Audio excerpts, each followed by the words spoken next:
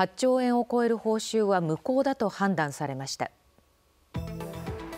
アメリカ東部デラウェア州の裁判所は30日電気自動車テスラのイーロン・マスク CEO の550億ドルおよそ8兆1000億円を超える報酬パッケージを無効とする判断を下しました。マスク氏の報酬をめぐっては株主側は過剰だと指摘する一方